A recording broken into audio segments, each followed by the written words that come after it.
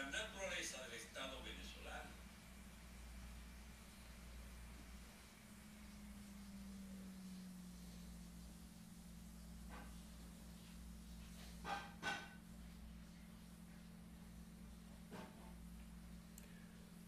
Bien amigos, ¿cómo están? Les habla Alberto Franceschi. Este es un programa eh, absolutamente imprevisto eh, no porque haya ocurrido nada excepcional, sino que se empiezan a acumular problemas políticos que quiero hablar con ustedes y a veces mm, constreñido por la fijación de horarios y de citas eh, con, la, con las redes, bueno, facilito quizás la interferencia de los benditos algoritmos que existen, mis amigos. Los algoritmos existen.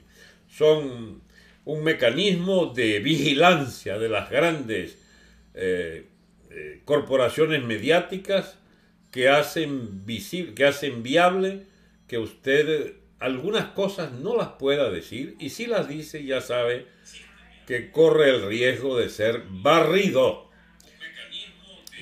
está efectivamente entonces transmitiéndose, ya lo oigo, y puedo entonces comenzar con confianza, aunque está un poco accidentado la historia esta.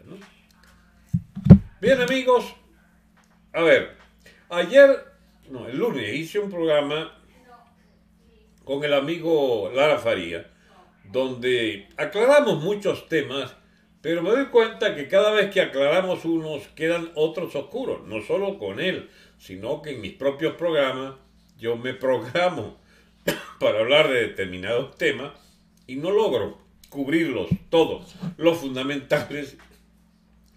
Y una vez más consigo al final que no dije todo lo que hubiera querido decir. Eso me obliga a una regularidad de programa mucho más intenso, pero tampoco puedo abusar. La gente no tiene tiempo para oírme a mí como si fuese un dato de la cotidianidad. entonces tendré que buscar un equilibrio entre la cantidad de veces que puedo hablar en la semana y la cantidad de veces que pueden oírme la gente que estima lo que yo digo.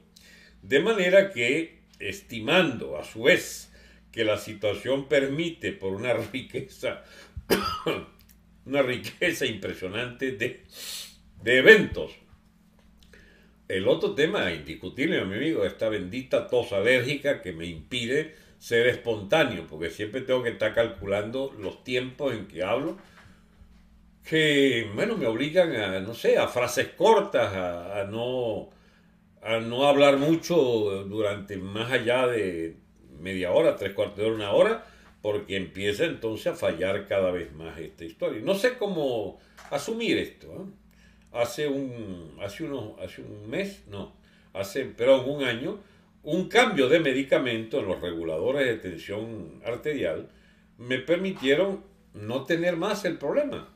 Pero vuelve otra vez, alguien me puso por allá, en, un amigo que le agradezco, un comentario, de que no tomara losartán. Y es efectivamente uno de los dos medicamentos de, presión eh, arterial que estoy tomando y entonces este aquí, víctima del losartán, según el amigo. Vamos a ver si es verdad. Tengo que esperar a una cita médica este, con el llamado médico de cabecera, médico que eh, te asigna el seguro social acá, el seguro médico, y tienes que visitarlo cada mes. Bien, basta de... En realidad estaba utilizando estos comentarios mientras eh, arrancábamos para esperar a algunos que van llegando en el curso de la, de la conversación porque les avisan que yo estoy en, en transmisión, entonces llegan. Entonces arranquemos con los temas de hoy que son variados y que no los voy a, no los voy a decir porque si no me corro el riesgo de o, o no decir todos los que necesito enunciar o enuncio más de los que puedo abordar. Resultado, ustedes me conocen y sabrán que yo voy a hablar es de temas que son todos pertinentes y que están en el curso de los hechos actuales. Por ejemplo, si hacemos una, un inventario pequeño, hay las elecciones que por fin no sé si terminaron, las elecciones internas del, Partido Chavista venezolano que se cayeron a tortazo en varias zonas y que hay unas candidaturas que no, hoy no he visto noticias de que ya hubiese vencedores eh, de, la, de las consultas internas. Tampoco sé quiénes son finalmente los, los compañeros de viaje, los alcahuetes de la oposición que están participando en estos eventos eh, preparatorios de las elecciones de noviembre. Sí, porque habían unas internas, gobernadores que querían mantenerse eh, suficiente, no solo suficiente con lo que han hecho, sino que aspiran a ser más colaboracionistas todavía, permaneciendo en el tiempo con la buena pro del chavismo. Este, hay, hay aspirantes a sustituirlos también dentro de la oposición. Hay de todo, mis amigos, en esta rochela electoralera, electorera venezolana.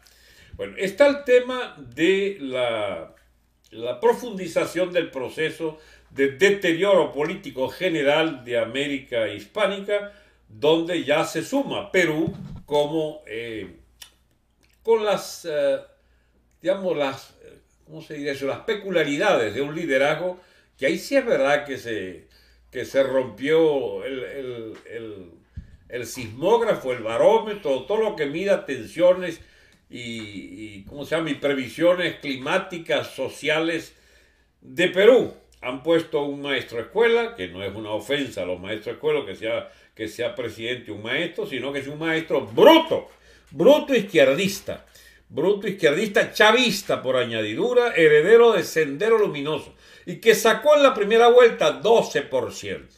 Es decir, 78 de cada 100 peruanos que habían votado en la primera vuelta estimaban que ese señor no les merecía confianza.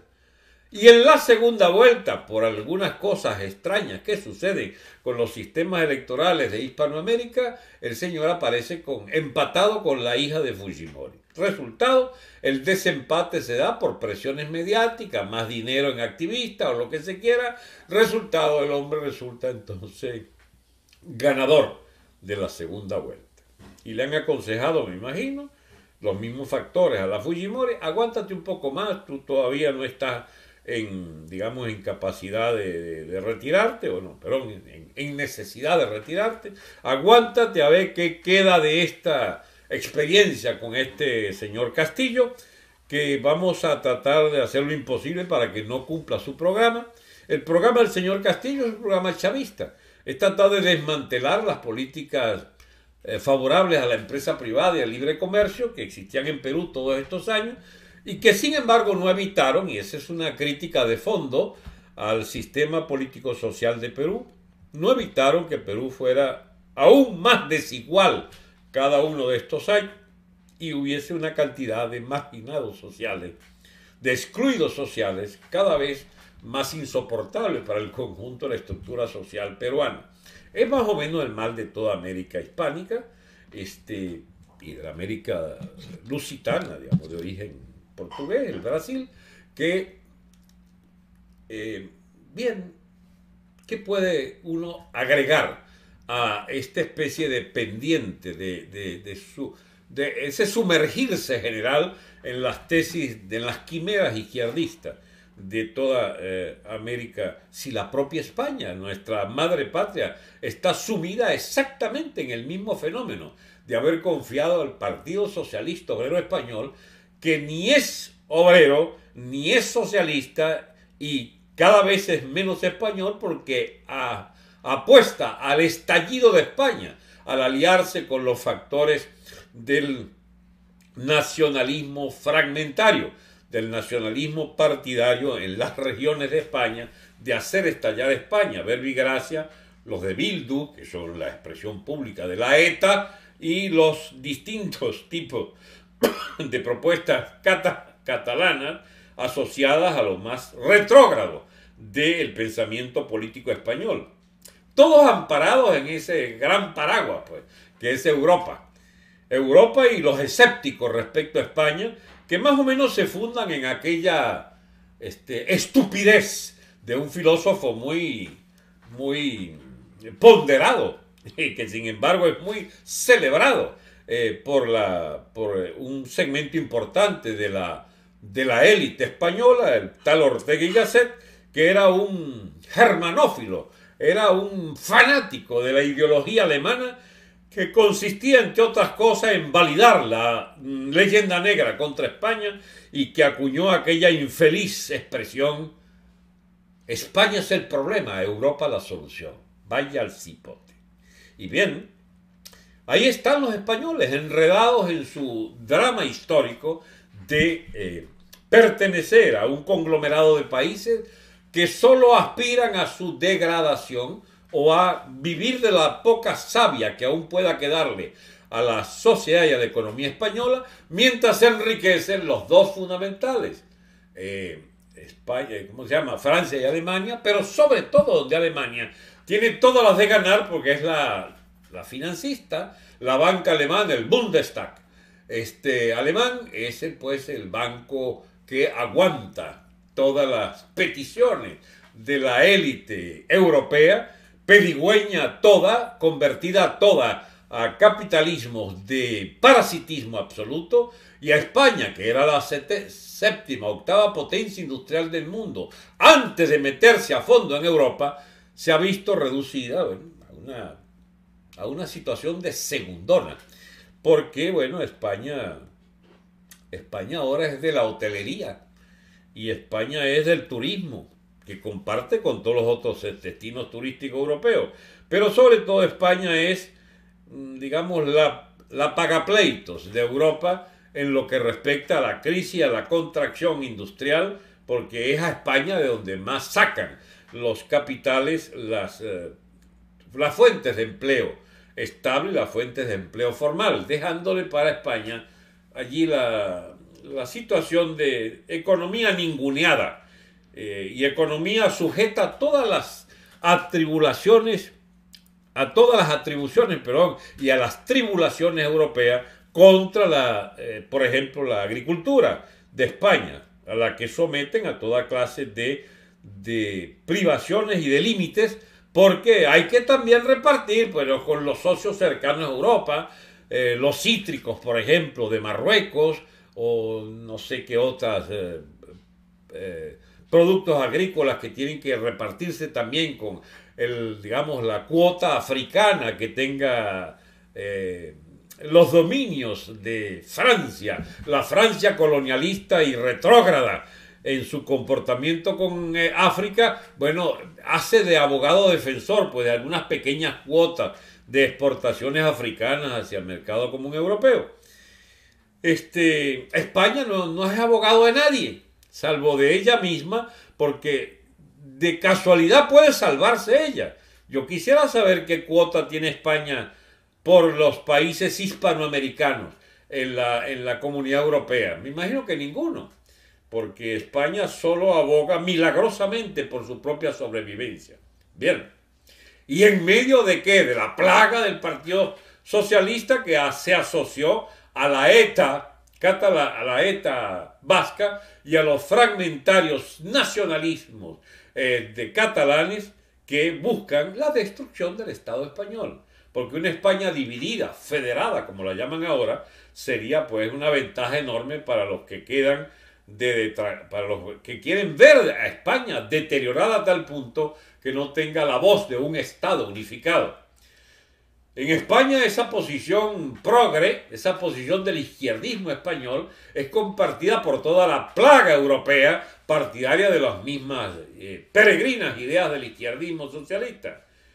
Y, y lamentablemente en España arrastró durante los últimos 15, 20 años al propio Partido Popular Español, el partido de la derecha española, que lo bautizaron de centro, o que quisiera ser de centro y del centro centrado últimamente por parte del señor Casado, que consiste en perseguir aquellas ideas que hicieron grande a Franco, pero que tienen un problema. Fueron las del franquismo, fueron las ideas de la derecha española que hizo próspera a España y tierra de mucho empleo y de mucha prosperidad, pero ahora las ideas socialistas impiden pues ponderar a Franco. Es más, va a quedar prohibido este, hablar bien de Franco. Y va a quedar perseguido el que hable bien de Franco. Son unas locuras, Dios mío. Porque es que de eso vive esta pequeña alimaña del partido llamado Socialista Español, o Español, bajo la égida del tal Sánchez, amigo de Chávez, amigo de, amigo de Maduro, defensor de Castro, de los hermanos Castro, defensor del gobierno de Díaz Canel, defensores de toda la plaga de Evo, del castillo este que acaba de ganar, digamos, con fraude en Perú, Ellos son los abogados de todas las patanes que dirigen la izquierda latinoamericana. Y bien, en esa enredina de opciones políticas absolutamente, caramba, que nos hacen ir cada vez a menos en nuestras realizaciones como naciones, ¿qué podemos decir nosotros los venezolanos? Que vivimos ya más de 5 millones en el exilio económico, en el exilio social o en el exilio político, cualquier vertiente es válida para haber salido, pero que deben esperar pues las tratativas de este eh, muñeco de torta llamado Leopoldo López o del muñeco de torta devaluado de Capriles o el muñeco de torta interino, paseador Guaidó, que todos tienen en común algo que no le sabíamos, digamos, su razón de ser, que es gente buscando real. En una Venezuela arruinada, en una Venezuela donde hacer dinero se convirtió en sinónimo de hacer política, bien, estos señores de la MUD, o herederos de la MUD, o de lo que como puedan llamarse, porque se cambian de nombre cada, cada año y medio, cada dos años, para evitar que el odio popular que han ganado se transforme en un repudio específico a las siglas y, y fuerzas que representan. Bueno, este, este liderazgo, pues, compartido, de Guaidó, Caprilito, Leopoldo. Eh, Henry Ramos está un poco devaluado, pero bueno, su partido, pues, este, antiguo baluarte la democracia y que hoy es baluarte de nada, a no ser de parásitos y manganzones que viven de los presupuestos eh, que aspiran eh, dirigir de municipalidades, gobernaciones, esta gentuza del partido de gobierno y de los partidos subsidiarios de la MUD, caramba, es el, ¿Cuál es el destino que nos ofrece?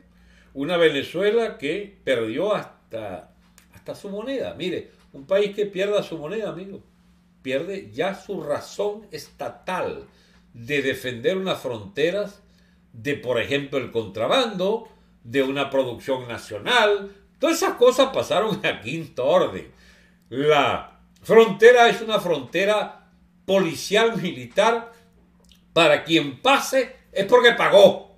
O sea, no es una frontera que defienda ninguna característica o ninguna identidad, identidad nacional o una pertenencia a un circuito comercial X. No, las fronteras de Venezuela son ahora un negocio delictivo. y como negocio delictivo, bueno, asocia a él a todos los que tengan a bien tener en perspectivas ser asociados a AMPA. Y la principal AMPA de Venezuela es el propio gobierno. Amigos, esta historia de un deterioro creciente de nuestras instituciones y que no nos permite ser optimistas en lo inmediato, siempre nos lleva a recorrer viejos temas y pasearnos por todo tipo de propuestas para ver si damos con la clave de cuál es la salida. Por años, por ejemplo, defendimos la tesis de que tenía que darse, y era lógico que pensáramos así, una ruptura militar. A ver, viendo que el, el Estado venezolano quedaba reducido en su autoridad y legitimidad a la casi única existencia real de las Fuerzas Armadas como institución de que da continuidad histórica al Estado, habiendo sucumbido el Tribunal de Justicia, el propio aparato legislativo y el Ejecutivo, por supuesto, como agente de los más bastardos intereses, habiéndose agotado los partidos políticos, ¿qué quedaba? Quedaban las Fuerzas Armadas. No habíamos visto hasta ese momento lo que después, no es que no, no existiera, lo que no había llegado al punto de cambio cualitativo en la situación, que significa que también las Fuerzas Armadas entraron en un proceso de degredo, de descomposición, de ruina, de opacidad, de absoluta falta de objetivo, de autaxia, en una palabra, no no pueden garantizar vivir a la República, no pueden garantizar ni siquiera su propia vida, su propia autaxia. No hay ningún ortograma, no hay ningún plan, no hay ninguna ruta que no sea la de la extinción de la razón de ser de esas Fuerzas Armadas. El último gran representante de esas Fuerzas Armadas fue el general Baduel. Ahora está preso hace 7, 8 años, ya tiene preso Baduel. Y mucha gente me criticó en su momento porque con el almirante Carratú defendíamos la necesidad de una insurgencia militar que colocara al señor Baduel a la cabeza de las Fuerzas Armadas. Él a su vez nos había propuesto al almirante Carratú y a mí como parte del equipo del Ejecutivo Nacional, que se supone iba a poder remendar los graves entuertos del Estado venezolano. Este, yo sé regularmente por vías muy, muy transversas de la calamidad de vida que padece el, general Baduel y le hacemos llegar nuestro, nuestro saludo este, hasta esas ergástulas del chavismo, hasta esa cárcel infame de la, de la tumba, donde comparte allí con Caguaripano y otros venezolanos la desgracia, pues igual que los 200, 300 que están en ramo verde, la desgracia de haber pertenecido a alguna forma de resistencia dentro de las Fuerzas Armadas. Voy a dejar constancia que saludo especialmente incluso a uno que lo tienen aislado porque lo consideran el más peligroso de todos.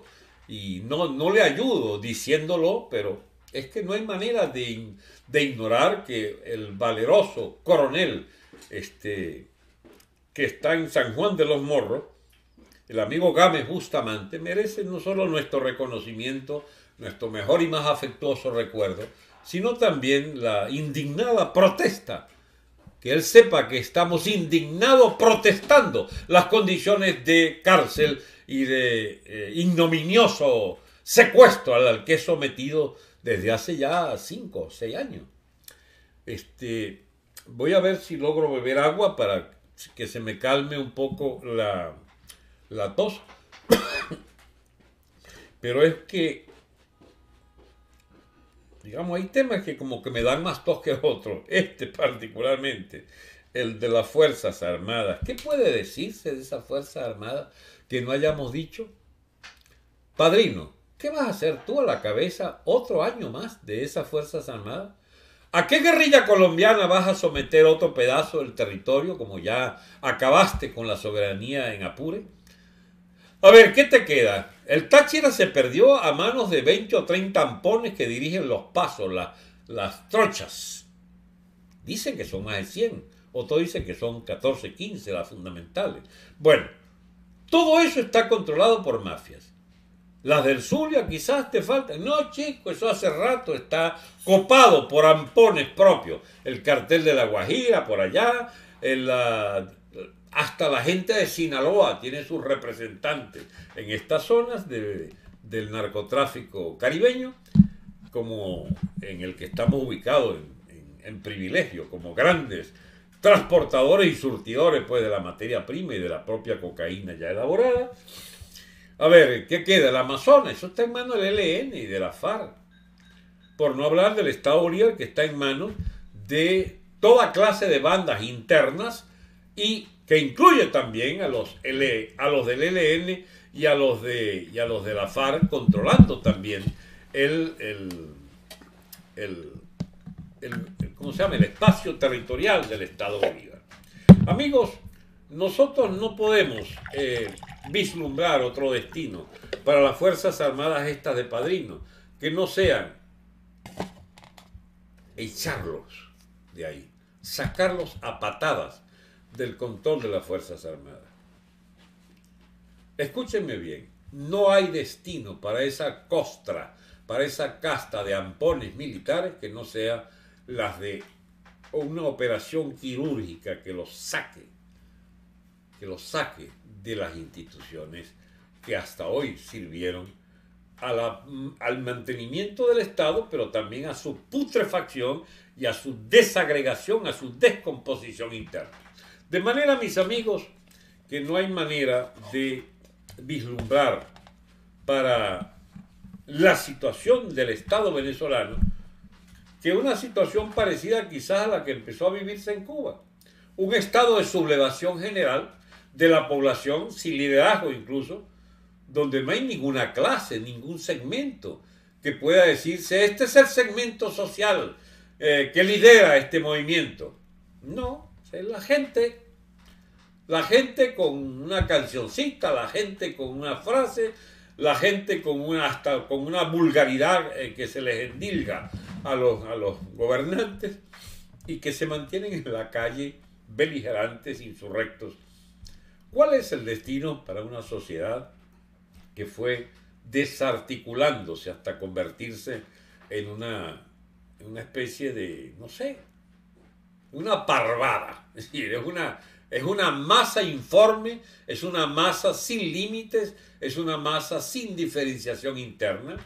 Bueno, en eso han convertido a Venezuela cada vez más parecido a esa masa enorme del pueblo cubano que no tiene ni partidos, ni élites, ni clases, es sencillamente el pueblo cubano. Con sus emigrados, 2, 3, 5 millones afuera, y en lo que quedaron allá, en la hambruna, en el padecimiento el padecimiento cotidiano de la plaga de la economía socialista. Ajá. En Venezuela podemos albergar algún destino distinto al que nos depara Maduro, Diosdado, y al que nos depara la MUD, asociada a Maduro, a Diosdado y a todos estos delincuentes de las Fuerzas Armadas dirigidas por Padrino. Bueno, mis amigos, esta es la hora en que hay que empezar a repensar todo, todo, porque los países no se acaban. Pueden deteriorarse, deteriorarse hasta límites que nadie puede conocer. Pueden ser devueltos a la semibarbarie o a la barbarie. Ya estamos en una fase avanzada de la barbarie. Al ver nuestro territorio, y en eso Cuba no está, no está peor que nosotros, estamos mejor que Cuba. En Cuba hay una unidad territorial. El partido y las Fuerzas Armadas y Policiales cubanas dan todavía un sentido de pertenencia a un Estado que es terrorífico, esclavista, que es un Estado eh, repugnantemente represor y torturador, pero es un Estado único. En Venezuela, ver, ¿cómo explicas tú que pueda, cómo explicamos todo, que pueda sobrevivirse en Venezuela sin pertenecer o al territorio del Coqui, o al territorio del Tren de Aragua, o al territorio del ELN. al territorio del ELN, o al territorio de la FARC, o al territorio de la FARC de, de oposición a la FARC oficial, porque todas esas pululan allí en la frontera.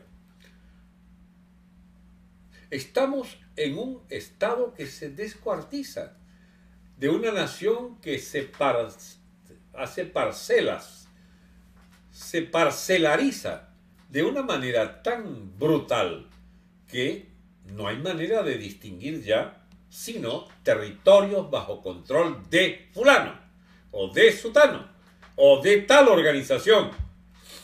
Entonces, bien, caramba, Qué bueno que se terminó el Estado que había unificado, pero para delinquir la casta de malandros estos rojos. Pero lo que fue sustituido, lo que lo sustituyó es peor. Admitamos que es peor. La sustitución de la casta central del partido chavista por, la, por las castas locales chavistas y sus asociados de la delincuencia masiva que pulula detrás de los pranatos de las cárceles. Yo no sé cuál es la ventaja que puede haber entre ser parte del pranato de la Fosforito, del pranato de, del, del, del Wilexi o del pranato del Coqui o del pranato del Tren de Aragua o del pranato del, F, del, F, del FLN.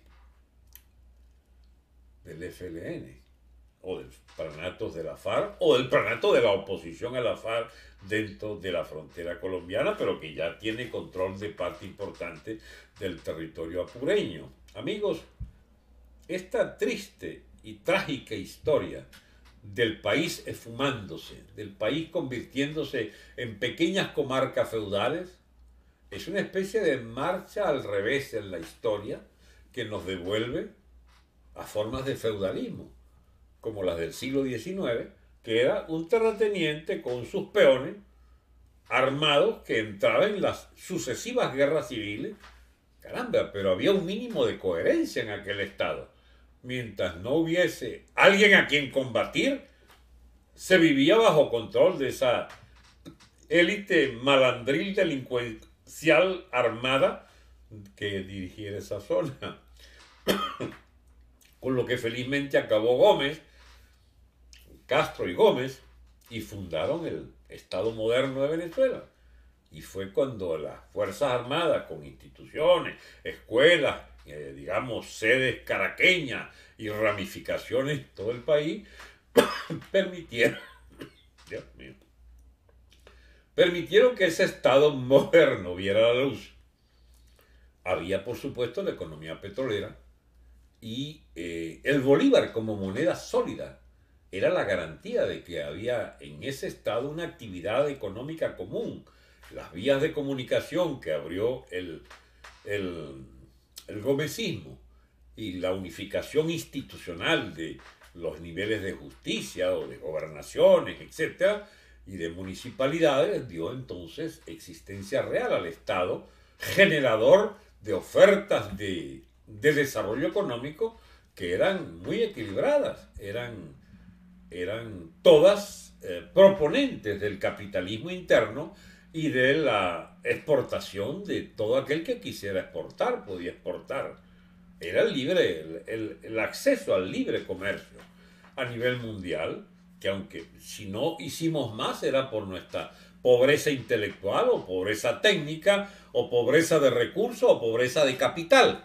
Este, y nuestro acceso se daba siempre a través de compañías eh, del llamado imperio, los imperios europeos y sobre todo el imperio americano, que se enseñoreó sobre las raíces de, la producción nacional en términos de petróleo o de materias primas, ganadería o agricultura.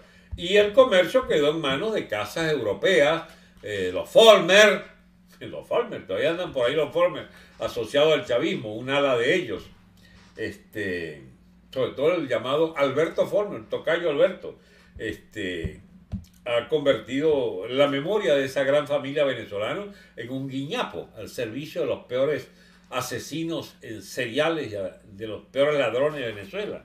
Están los Bolton, están los Bolton.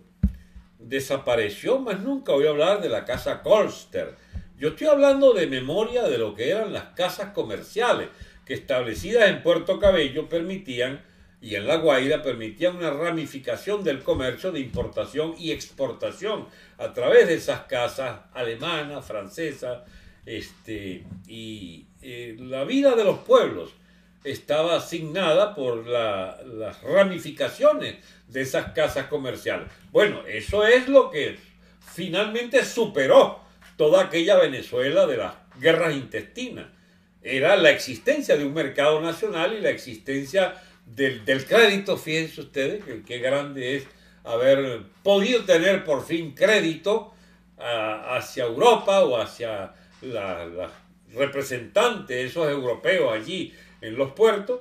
Y eso desapareció cuando Venezuela se industrializó hacia adentro, así fuese en una escala muy pequeña, pero fue creándose una materia, una, un mercado de materias primas, de artículos importados, y artículos finales o semifinales en la producción industrial, agrícola y pecuaria que determinó entonces la, em, la construcción de una burguesía, de una élite propia de Venezuela asociada a esos capitales extranjeros, con sus años dorados, con Pérez Jiménez, con sus años dorados, con los Adeco y los Copellanos, pero al mismo tiempo escondían esos años dorados el engendro de una élite que reunió a los dos más dinámicos sectores de esa élite, que no hay que generalizar nunca, pero obedece a una lógica lo que estoy diciendo.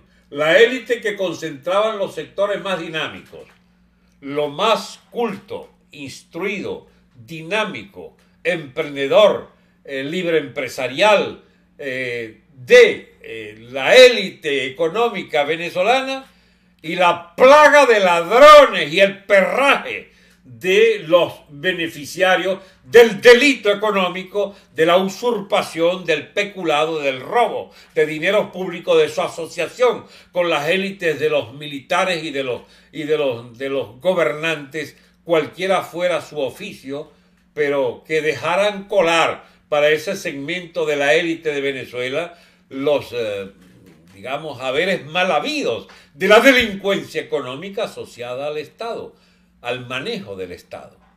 Corruptos y valerosos militantes de las causas nobles y de las peores causas de Venezuela estaban juntos en las mismas urbanizaciones.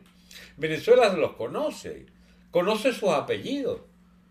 Y la mala suerte es que progresivamente la élite corrupta, la élite de miserables y ladrones corruptos, de fortunas nacidas bajo dictaduras o de, o de la democracia, fueron horadando rápidamente a aquella democracia y abriéndole paso a los que han resultado ser los más exquisitos representantes de lo peor de la élite venezolana. Los capitostes del cuanto hay paeso en gran escala, los grandes apellidotes convertidos en serviles de la dictadura chavista madurista. Y este aquí, que ahora entonces se ha complicado la cosa porque de los grandes apellidos caraqueños ha surgido y de la élite corrupta, no de, la, no de la sana empresarial y honesta, o por lo menos austera burguesía venezolana de viejo tipo, sino de la nueva, corrupta y servil al chavismo, élite de sinvergüenza, ha surgido su florinata, los bolichicos y boliburgueses, banqueros de toda clase, corruptos, de toda clase que agencian desde castillos españoles, desde castillos madrileños, desde las mansiones de Miami, desde las mansiones en, en Florida y en toda la en toda la extensión de Norteamérica, también en Texas, por supuesto, ha surgido una élite de corruptos con manejos directos con el régimen. 700 aviones privados, la tercera o cuarta flota de aviones privados del mundo la tiene Venezuela y vienen aquí a Miami, a la Fort Lauderdale, este, a, a todo lo que signifique pues ese flujo cotidiano de plata, de privilegios, de pagos, de comisiones. Amigos, y el gran padre de todo eso es Chávez, y es su emisario eh, Ramírez, y son sus comisionistas de, de PDVSA. Y los chavistas indignados con ello, entonces lo execraron y metieron preso a algunos, pero porque no se cuadraron a tiempo con Diosdado y con Maduro, que son los beneficiarios ahora de esta última etapa, y por supuesto la élite de las Fuerzas Armadas de Padrino asociada al negocio del manejo de los despojos de PDVSA y los despojos de las minerías venezolanas convertida en la única entrada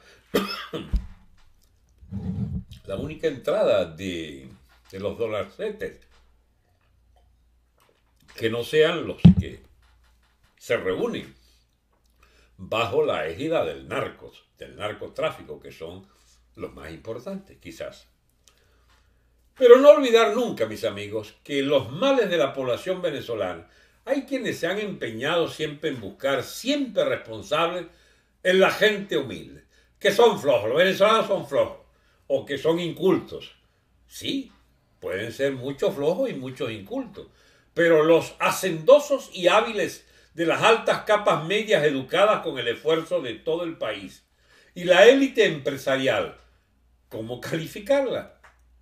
Si son los que montaron esta élite gubernamental del chavismo. Los que montaron la élite gubernamental anterior de Adeico Pei. Los que montaron las ideas progres del Partido Comunista Venezolano. Venían todos de la élite caraqueña, mis amigos. ¿Y qué decir de los que funcionaron como la élite de Pérez Jiménez o de eh, Medina Angarita, con prominentes apellidos incluso? No, mis amigos, es hora de que los venezolanos que nos ha tocado pensar seriamente en cómo reconstruir nuestro país, nos detengamos a pensar dónde está la mala hierba ¿Dónde está para fumigarla? ¿Dónde están los privilegios insolentes, mal habidos todos, para explicárselo al país. Y lo que vayamos a edificar se ha edificado sobre fuentes sanas, sobre fuentes de renovada energía social, de verdadera eutaxia de la nación venezolana, que para poder existir necesita liquidar físicamente todas las capas delincuentes de Lampa, cualquiera sea su origen, y si es político más rápido, y si es político militar, delincuencial, policial, más rápido, porque no habrá Estado en Venezuela si no hay una sola autoridad de Estado que tenga el monopolio de las armas, si no hay unas verdaderas Fuerzas Armadas y policiales profesionales, si no hay una verdadera burguesía que se dedique a los negocios de manera, digamos, yo no voy a decir que honrada o desinteresada, no, que cumplan la ley, que es común a todos los venezolanos, esa burguesía, esa élite, eh, eh, ¿cómo se llama?, propietaria, tiene que haber cumplido lo elemental de su existencia es, que es querer ser de un país con libertades económicas.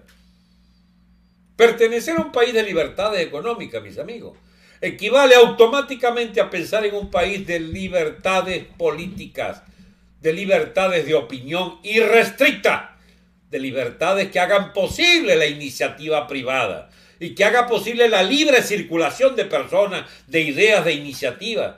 Equivale a una sociedad de bajos impuestos, sí, de bajos impuestos, para que el grueso del país sostenga, por vía de impuestos indirectos, la existencia de una burocracia drásticamente reducida, porque necesitamos sacar de la, de la, de la manguangua a cuatro de cada cinco empleados mal empleados, vivianes y parásitos del Estado venezolano necesitamos dedicar los recursos del Estado a la seguridad, a las garantías de, de cumplimiento de la ley y de administración de justicia. Necesitamos los escasos recursos para garantizar la salud y la educación de los más vulnerables, no de todos, porque quienes no necesiten la gratuidad de la enseñanza de la salud, ¿por qué dársela? Si los bienes por definición los ingresos por definición son escasos de cualquier Estado.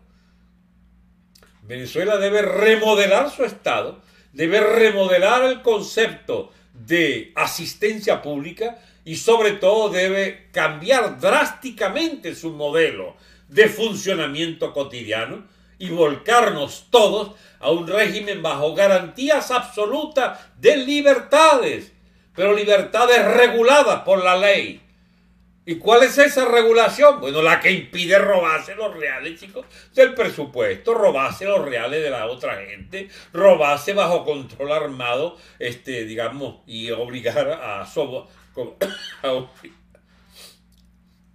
a obligar mediante pago de toda clase de exacciones, de impuestos delincuentes a la mayoría de la población. Este Pensar en ese país, mis amigos, es una gran dificultad, porque supone que hay que cambiar tanto que la gente no se imagina cómo puede hacerse eso. Pero ya está logrado lo fundamental, aunque, no, aunque le cueste creerme. Usted sabe por qué hemos logrado lo fundamental. Porque lo que había está podrido y se está cayendo a pedazos. Eso es lo que ha ocurrido estos últimos años donde ya lo que uno diga es posible. ¿Por qué no? ¿Por qué no es posible pensar que este Estado inservible, corrupto hasta los tuétanos, vuele en pedazos? Eso antes no era posible. Mientras existía un Estado coherente, mientras existía una élite política dinámica, eso era muy difícil. ¿Ustedes saben a qué se empieza a parecer esto? llamado el chavismo-madurismo, a lo que ya vivimos con la finalización de la etapa de Adeco Pay. Los propios Adeco y Copellanos acabaron con el sistema político anterior. Asociaron a los izquierdosos también, Pekov y compañía, el MAS, que se transformaron en los más pedigüeños y malandrines del sistema político, de la pedidera, todos con la mano extendida, dame, dame, dame, dame esa Venezuela de los años 90 fracturó la élite y puso a unos y a otros a pensar en que era mejor, este, ¿cómo se llama? Liberar, sacar de la cárcel incluso a los felones militares del Chávez este que acabó con la unidad de la Fuerza Armada. Y los liberaron, chicos, y les perdonaron su osadía de haber acabado con la unidad de las Fuerzas Armadas. Esta nueva etapa de Venezuela, bajo la égida de un chavismo podrido hasta los tuétanos, que lo que le falta es sacarse el mondongo en la calle, apuñalada.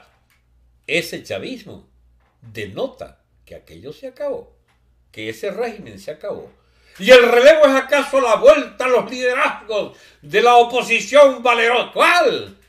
La de Caprilito y Leopoldito, la de los agentes del chavismo en la élite caraqueña están locos.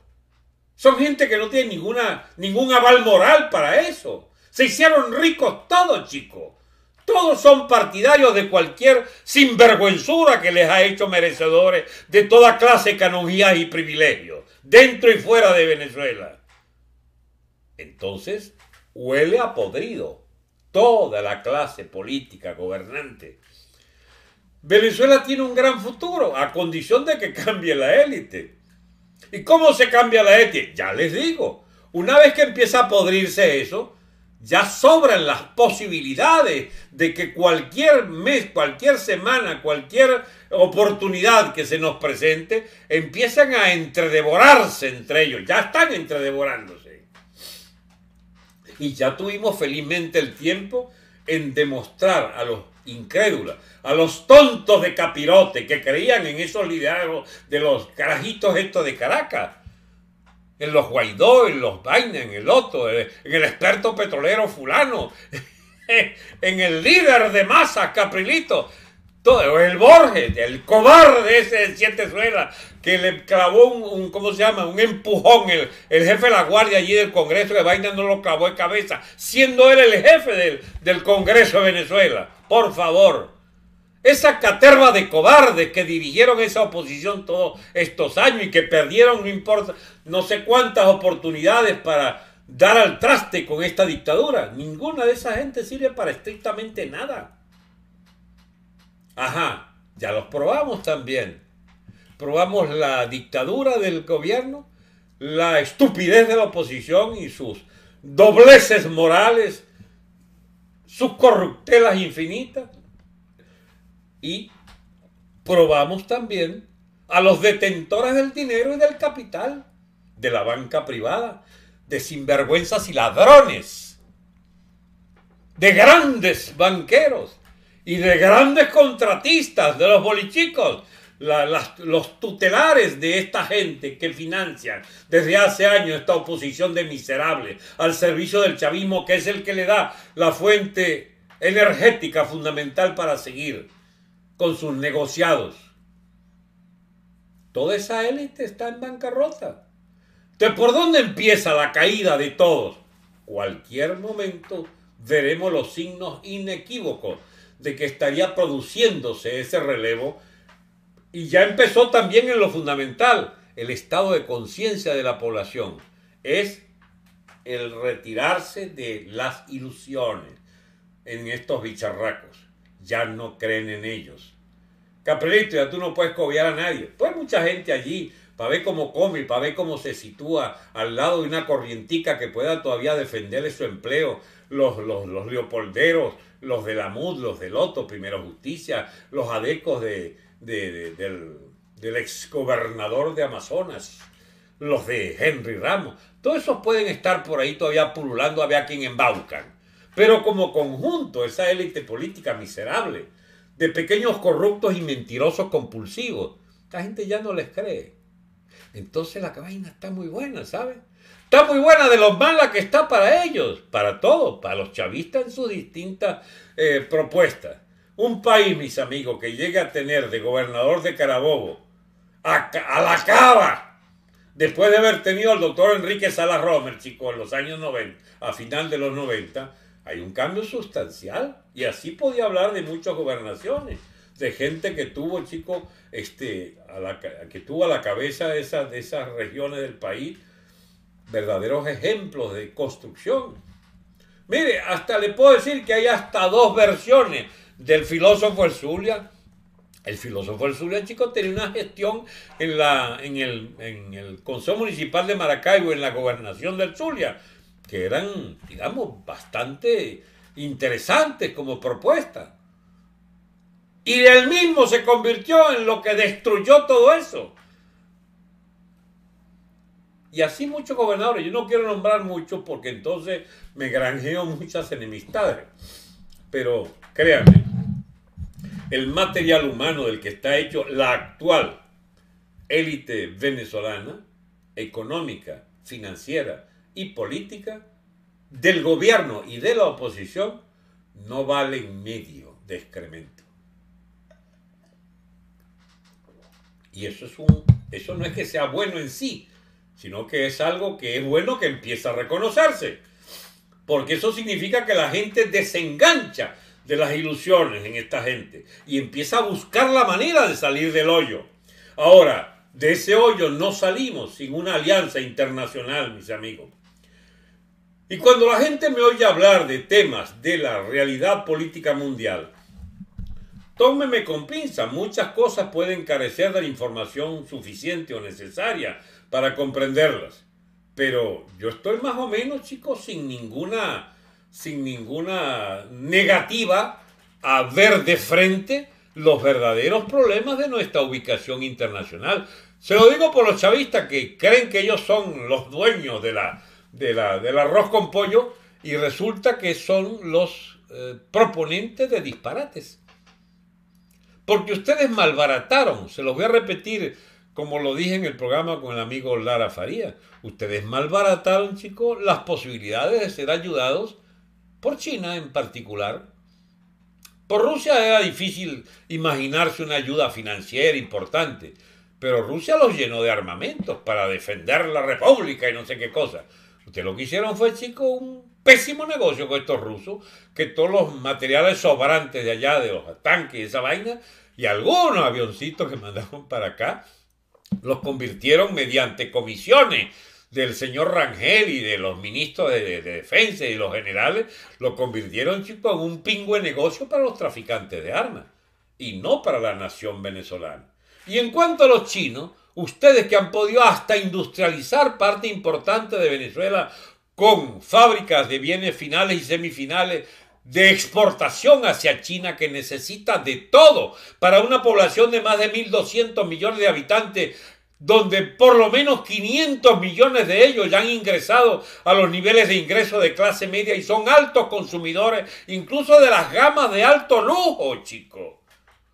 Pasando por todos los consumos lógicos de clase media, los, los, eh, ¿cómo se llama? Los aparatos de sonido, los eh, electrodomésticos, los automóviles, Toda esa gama impresionante de productos, desde que Deng Xiaoping en los años finales de los 70 dio el viraje histórico de hacer compatible el totalitarismo del Partido Comunista Chino con el capitalismo chino, agenciando el capitalismo mundial y lo convirtió en una poderosa, eh, ¿cómo se llama?, nación capitalista en, en pleno desarrollo, como ha seguido 30 años había oportunidad excepcional en estos 21 años de hacer exportaciones masivas hacia China, de convertirnos en el principal país de, Iberoamérica, exportando hacia China toda clase de artículos mineros, agrícolas, industriales. Y ustedes desperdiciaron todo eso porque se robaron los fondos chinos, chicos. Eso fue lo que ustedes hicieron, de Chávez para acá. Se robaron esa vaina.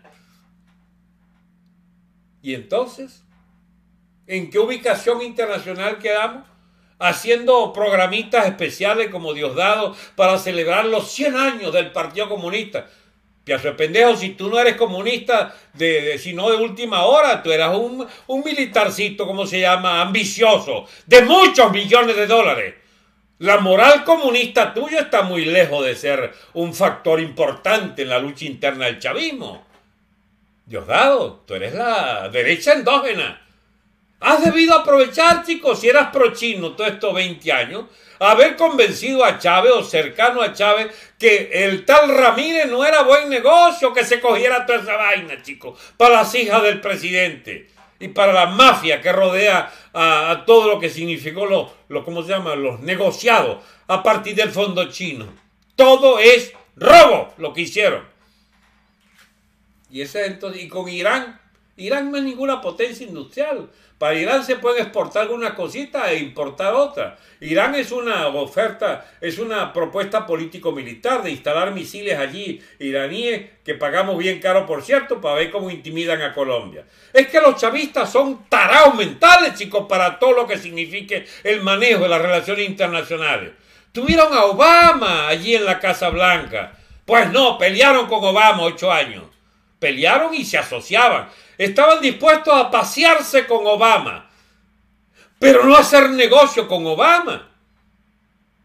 Obama les ofreció de todo. Se les eh, fue, fue a para Cuba, chico.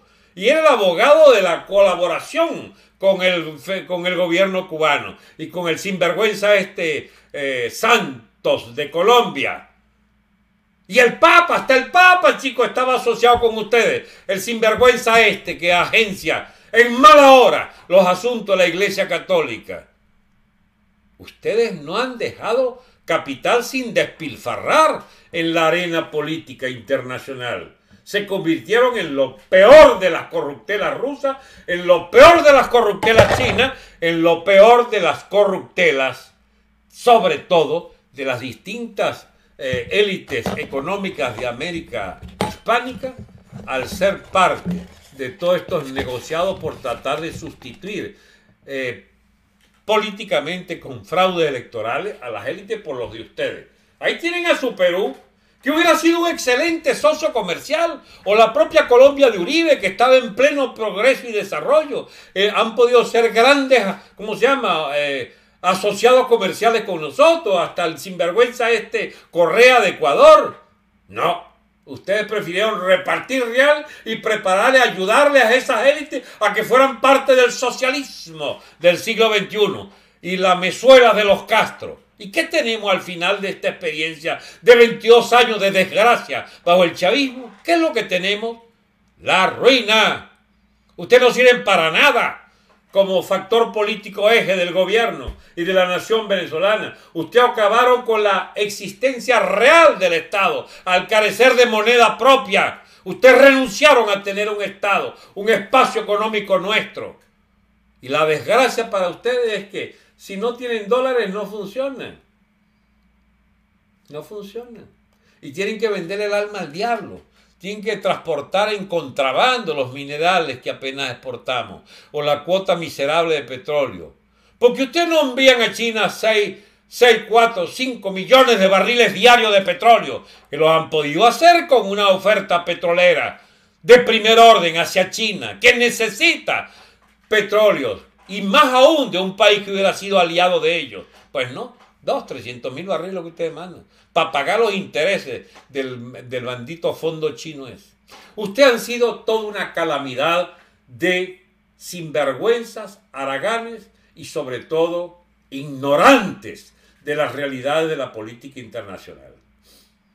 Ustedes solo sirven para apoyar guerrilleros, para apoyar gobiernos corruptos, para robar real, para depositarle a todos los agentes del chavismo a escala de cualquier gobierno Ustedes solo sirven para dejar extraer masivamente el Producto Nacional y convertirlo en depósitos privados en la banca mundial. Eso sí, ustedes son expertos en acrecentar los depósitos de los bolchicos, de los banqueros y de ustedes. El balance es trágico, es trágico. Ahora, ¿cómo salir de este hoyo?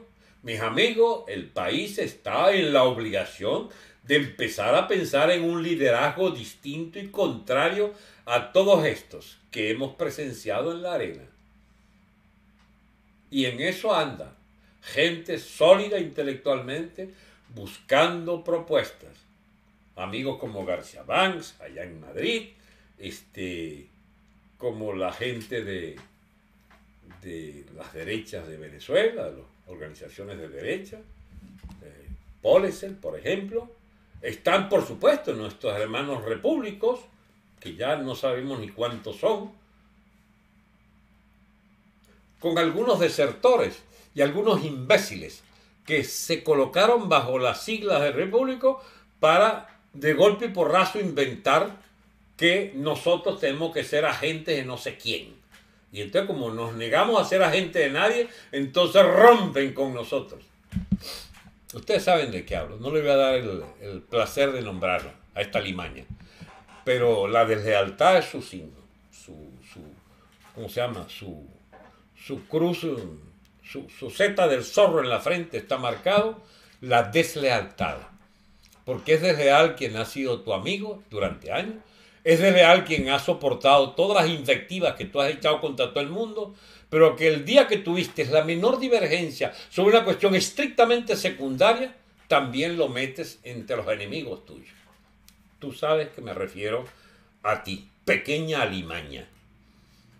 Bien, o sea, no crean ustedes que nosotros somos una especie de corte celestial de ángeles y arcángeles, serafines y, afines que eh, no tienen ninguna mancha, ni pecado, ni ninguna cuenta que rendir. Podemos rendir la cuenta que sea.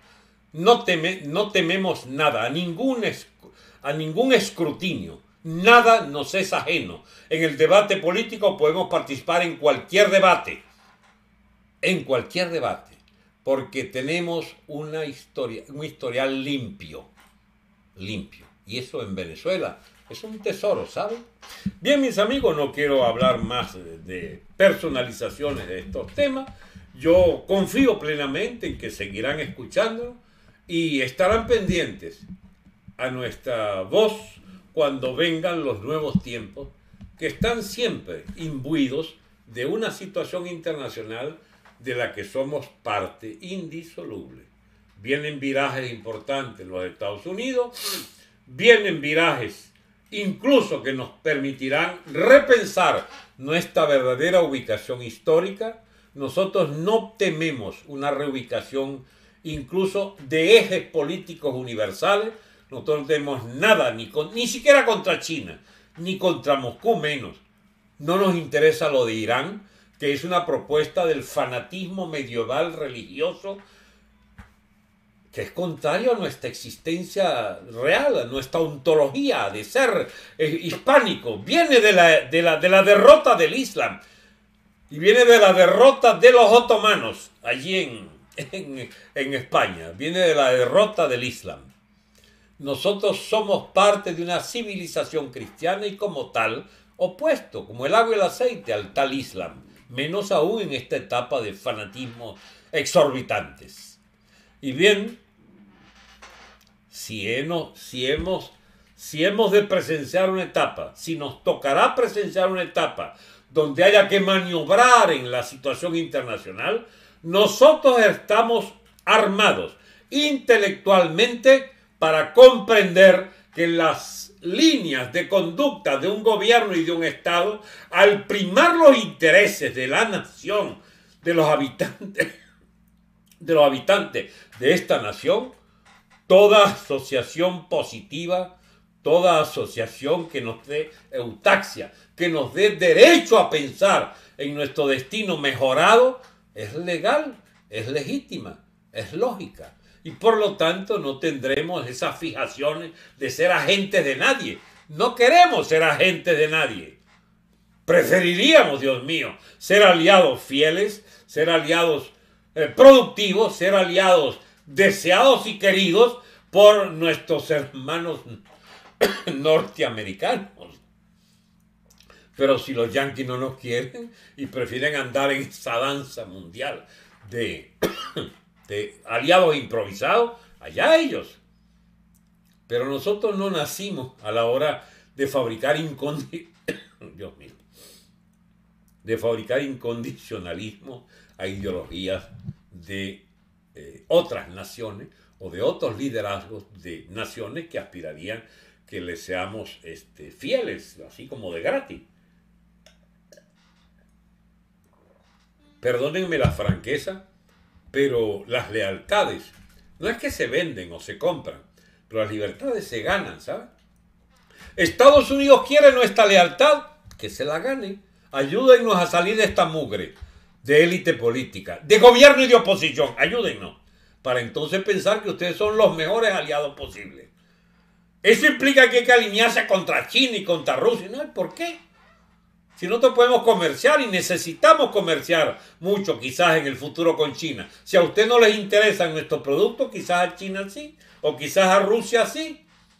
Entonces tenemos que tener una mente abierta para pensar en términos de nación soberana que en el mundo entero genera autaxia, genera progresividad para su nación, para sus habitantes. Necesitamos reventar este modelo siniestro de los peores males del planeta concentrados en nuestra economía, en nuestra falta de moneda propia, en nuestra falta de, sobre todo, de gobernantes idóneos. Amigos, esto es todo por hoy. Ya seguiremos conversando. Hasta muy pronto. Les habló Alberto Franceschi.